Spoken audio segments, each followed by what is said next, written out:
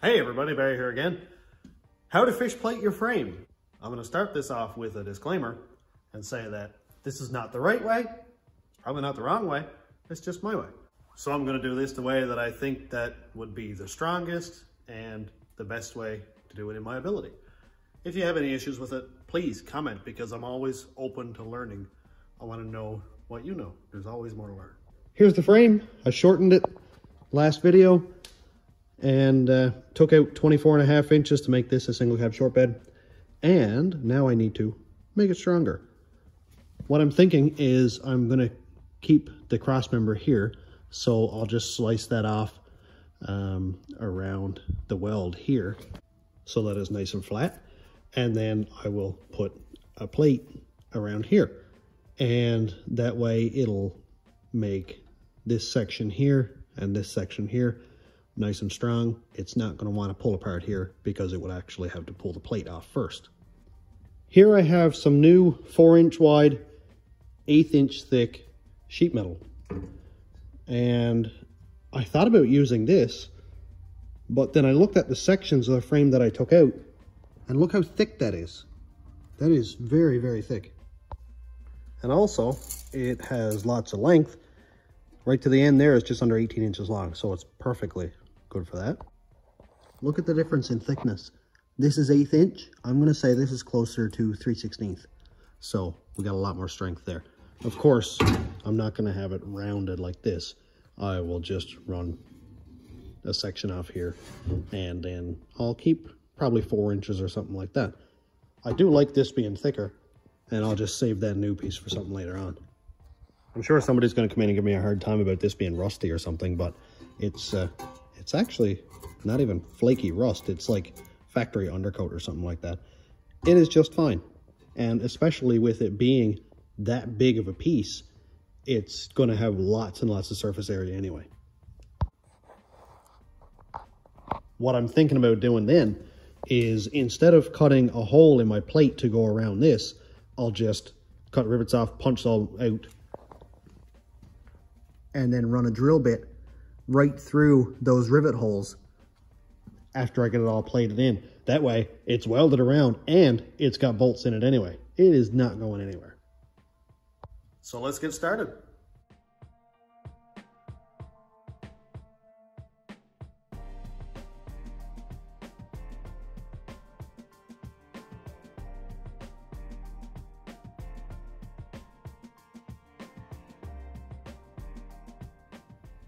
Well, that came out a lot nicer than I expected it to. Man, that looks good. What was it Red Green used to say?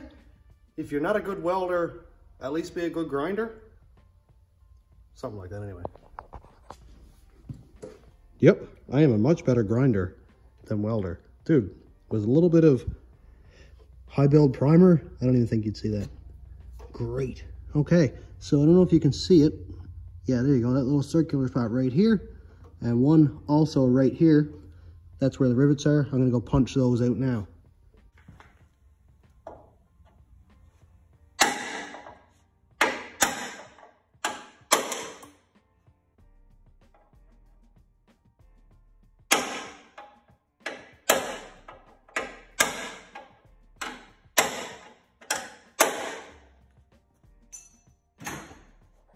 Well, there we go. That'll be easy. I know it's not going to look factory, but it will look better.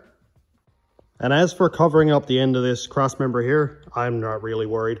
I'll just drill a small hole up through from the bottom so any moisture or any dirt or anything gets in there, it can just run right out and not rust the frame out. I know everybody has their own ideas on shape. Like I've seen ones that say do a diamond shape. I don't really have the right area for that. So I won't have any sharp corners. I will do rounded. But let's see. So really, 12 inches will give me about two inches on each side actually. Because 10 is here, 12, and then we've got two and a half, and then well, one and a half. So I'll have um, a little bit more overlap on this side, but that's really not a big deal. Even if I have like say an inch back here to go around that pipe, and then come ahead there. That'll give me a little ways past um, past there too. So I think I'll go, maybe I'll go 13 just to be sure that I'm getting lots of overlap here because I'm not going to run out of metal. I've got 18 inches anyway. And just because I like to use things that are always going to stay the same shape, I'm going to just make some marks on this wheel so I know this is what I'm going to use. I will measure six and a half inches, so three and a quarter is right here. In the center, I'll move that back a little bit. Three and a quarter, let's go right on the edge of that weld so that we're even on both sides. Let's go right. Let's go right in the center of that one.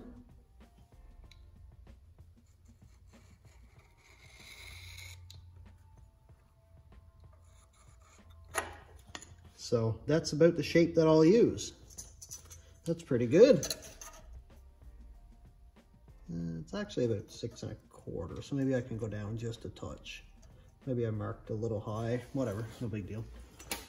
And the wheel is four and a half inches, so maybe that's what I'll do because my my uh, angle is right there, and that will only leave me about three quarters of an inch of uh, unbraced welds, so it's going to have to twist a whole lot. Okay, so we're back to this side here. Maybe I'll move it down to say three inches right there.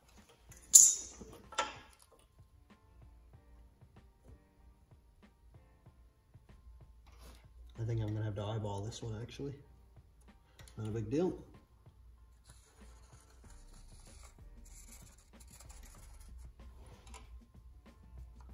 just to get an idea of where the plate, where the piece is to sit.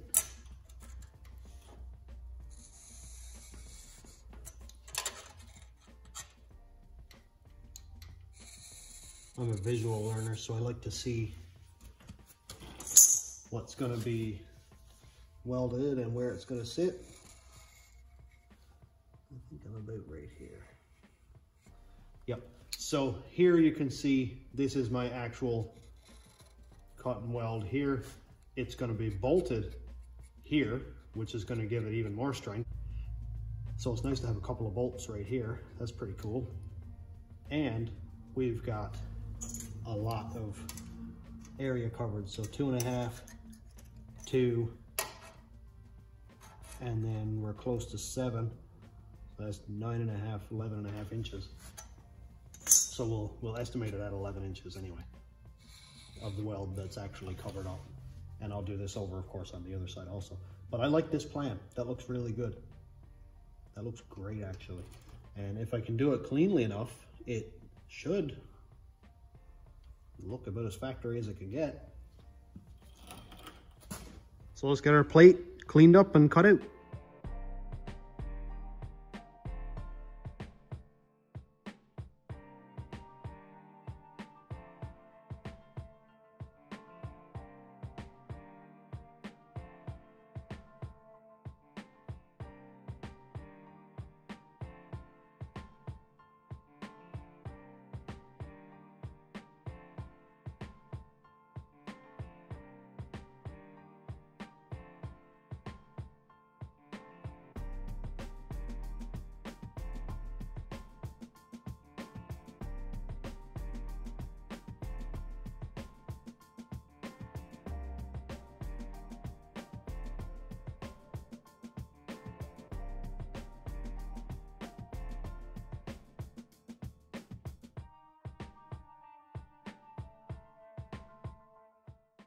Well, here's the piece all cut out and cleaned up. You can see the center here. I left it just alone because it's actually like factory undercoat. So I'll just leave that and paint it over.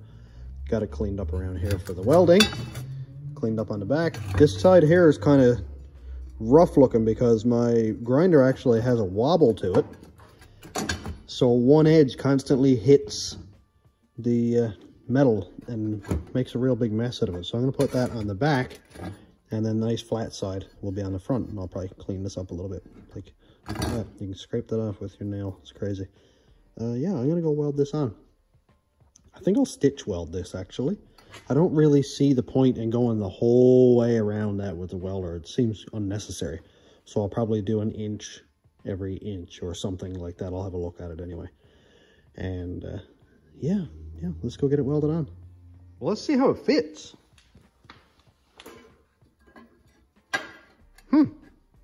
I like it. It looks really good. And I'll be able to put a clamp on the other side of it and kind of draw that in tight. But yeah, very good. I think it'll look just as good as it will ever look. Come from me anyway. If you do any work at all with sheet metal, these uh, wide mouth vice grips are actually amazing.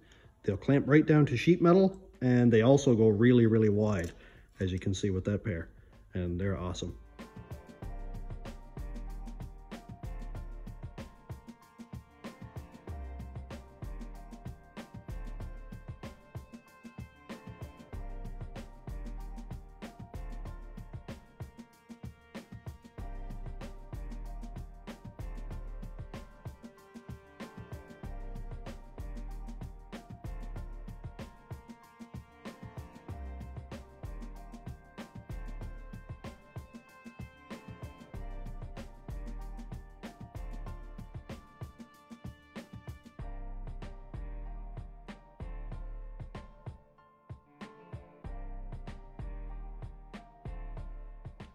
Well, it looks pretty good from here. Not bad at all. I'm, I'm happy with that, actually. I'm going to put some paint on it. Of course, the welds don't look pretty. I'm using flux core. And the welder's really, really giving me issues. I can unscrew the tip, put a blowgun on the end, and out of here will come the big plume of black, sooty looking, I don't know what it is. My spool, of course, you can see is not tight. But watch this. Look at, it's really hard to see, that dark line across my finger. It's like soot coming off the wire or something. It's plugging up the whole whip and it actually spins this wheel trying to push the wire through, which is quite annoying. But power through it, suffer through it. Anyway, it's done. I like it. I think it looks really good. I drilled through and put bolts in through uh, the torsion bar mount there. Of course, I need to change it, but that's not today's task. That looks wicked. I love it. I'm going to spray a little bit of black paint on it, make it look real nice. Just pretty it up a little bit. I've got this Duplicolor truck bed coat. Just spray a bit on there, see what it looks like.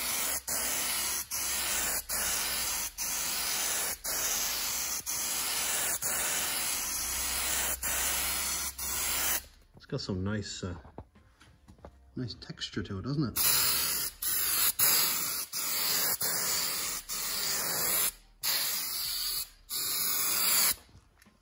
Nice. That looks perfect. I just want to stop that from rusting where it's bare metal while I'm getting the truck ready before I paint it and stuff. I love it. Man, I think it looks really good. I am not a professional welder or a fabricator. So you can't expect perfection from somebody who is not a perfectionist, I guess. But I want to make sure it's safe and reliable and won't break in half while I'm driving down the road. I don't think at all that that's going to happen.